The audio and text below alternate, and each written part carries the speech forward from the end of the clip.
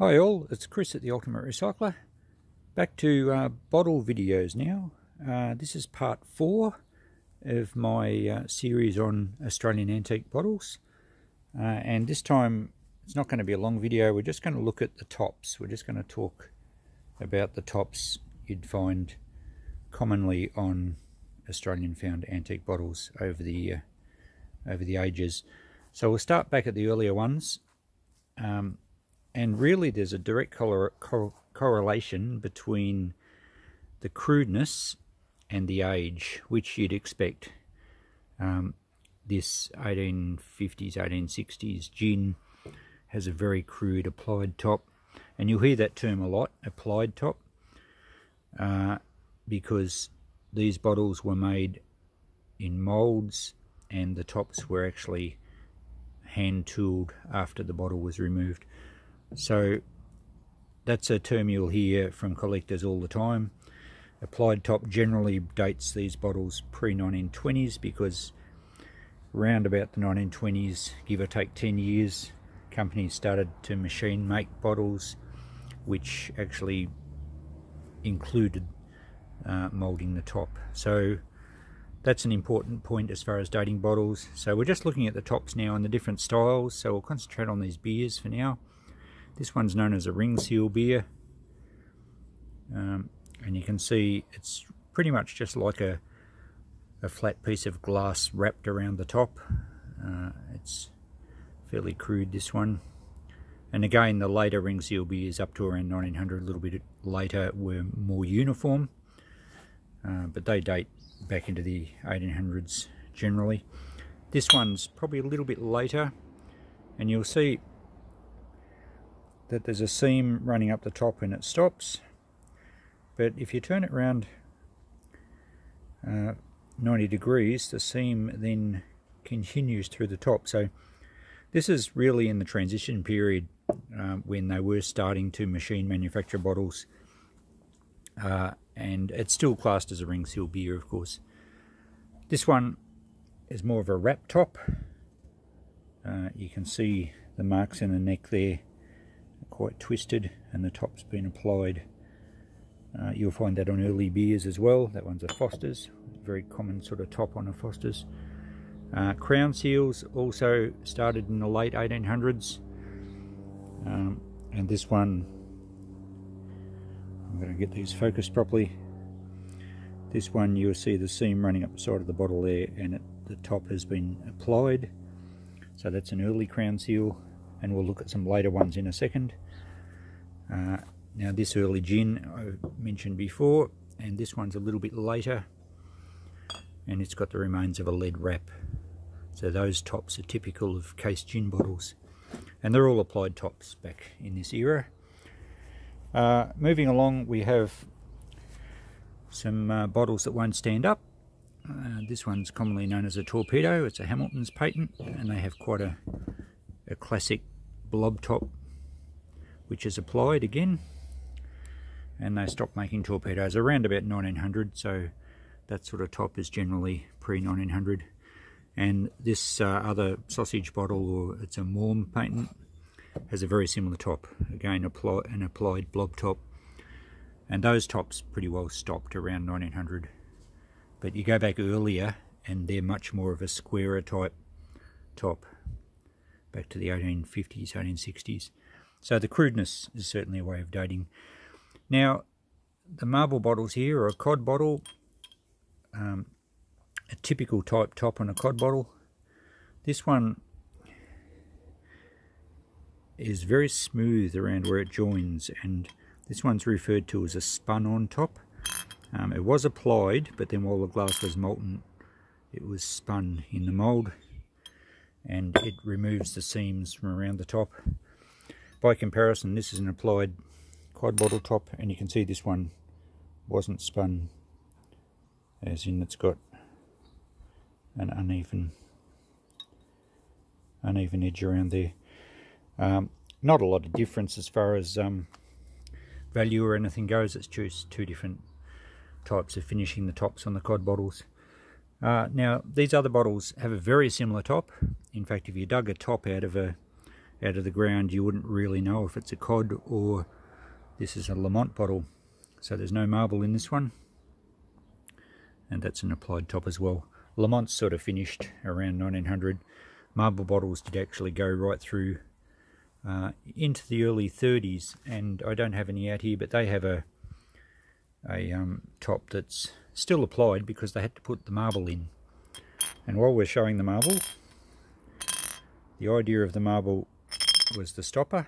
You can see that it rolls down into the neck and rests on a rubber ring. This one's still got the ring inside it. And the pressure from the drink because they were always aerated waters the pressure held the marble at the top. To open the bottle the marble would have to be physically pushed in. Uh, there was usually a plug of a special wood opener or a, a plug on the back of the counter at the shop which would drop the marble in release the pressure and then it would sit in that little channel there and the dints in the side there's various types of patents and whatever dint they used actually stopped the marble from blocking off the flow when you poured a drink. So that one's called a Dobson patent. Uh, this one's referred to as an all-way pour. It doesn't have the dints, it just has a crimped area. So um, there's various patents there and we'll talk about Codd bottles in a video particularly devoted to them. Uh, because Codd bottles had marbles in it, the kids of the time like to collect marbles and many bottles you find many Codd bottles you find like this with the tops knocked off. Um, this one actually has a marble sitting in there, but it will just come out. And there's the marble. So that's a particular enclosure there on the Codd bottle. Uh, Lamont's um, often had a, uh, a stick or a little piece of, this one's got one in it, a piece of wood or ebonite or something with a rubber ring around it and that's sealed. And again that had to be pushed in to open the bottle. There is another bottle I'll find a picture for you of what they called a stick bottle and it had a longer piece that was pushed in. Uh, most of these earlier ones here all were cork except the crown seal of course so corks were the most common uh, enclosure or at least stopper uh, this salad oil here would have had a cork as well same with the castor oil. Um, the hot sauce here has a slightly different shaped top, as does this coffee essence. And these ones were cork sealed, but the cork went on a little glass stopper. And it's just a sleeve of cork. So if you find those stoppers, they generally suited uh, essence of coffee and chicory or a hot sauce such as a Holbrook's. Uh, this one's um, can't quite read that. Might be a Lea and Perrins or something. Anyway, um, that's what those tops suit. Uh, ginger beers were mostly cork stoppers. Uh, however, they did also have crown seal ginger beers. So while, while we're talking crown seals, this was the earlier one, around about 1900, an applied crown seal. And we go up a few years and this one's late 20s into the 30s and if we find the seam and you'll notice I'm always looking for the seam on the tops of bottles uh, it does run through to the top lip so that's a machine made bottle whereas the other one wasn't and this other one here is much more recent. And it of course is totally machine made as well. Bit hard to see the seam my camera's having trouble focusing but the more modern bottles uh, the seams are very fine because obviously the technology was better at making bottles. There was less crudeness. Uh, now where were we up to? Um, here's another type of enclosure. These are called an internal thread which has the stopper screw into the top uh, with a thread quite a coarse thread inside the neck uh, this one's a machine made bottle the top is very uniform and quite squarish and there's a definite seam running up through the top lip there. Uh, the earlier ones were a blob top uh, and they were a similar type of top to the torpedoes, a little bit chunkier and uh, they date pre-1920s generally. Uh, there are tops on some bottles and particular little cabin inks, I didn't bring one out, which are shear tops and they're just snapped off when they're made. Uh, some are quite crude and quite chipped, but they're not broken and they were designed to take a cork. They're known as a shear top. Now we'll move on to the milks here.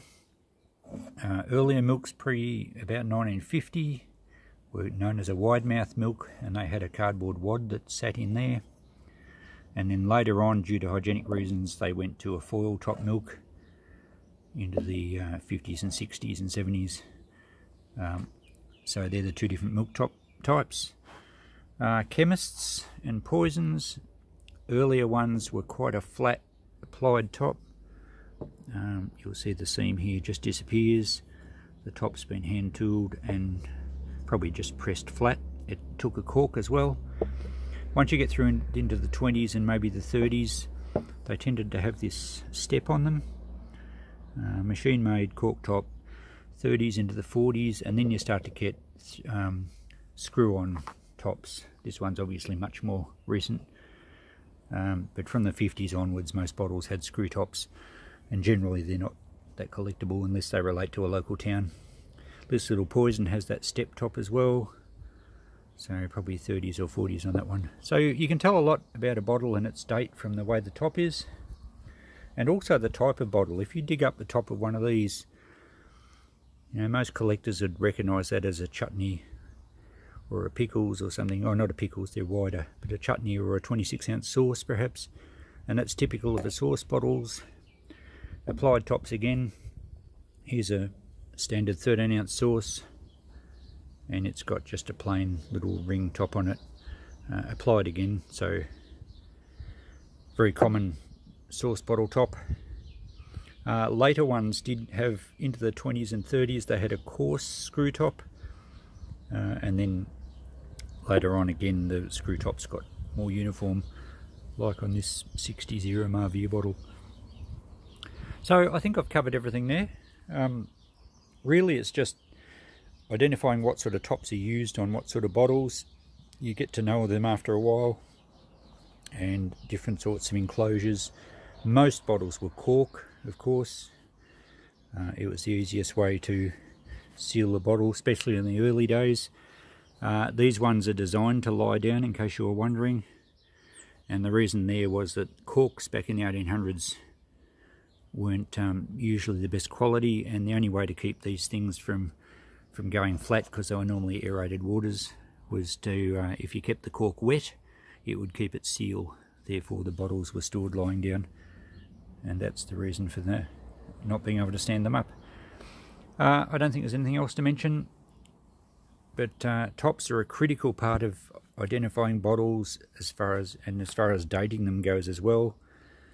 Um, you'll get to know the styles after a while and you'll get to have a pretty good idea of dating as well from the top styles. Also I mentioned in one of the earlier videos on dating bottles the purple glass. You can date that sort of late 1890s into right through to the 1920s. That's an applied top as well. So tops are a critical way to identify bottles, date them, and it just adds up to your knowledge if you're starting to collect. You'll be able to um, work out what era you've got. We'll look at bases in a future video. That's the other important area to look at. And then we'll do a series eventually on various types of bottles and I'll try and give you a bit of history on the patents and that sort of thing. Okay, thanks for watching. See you in the next video.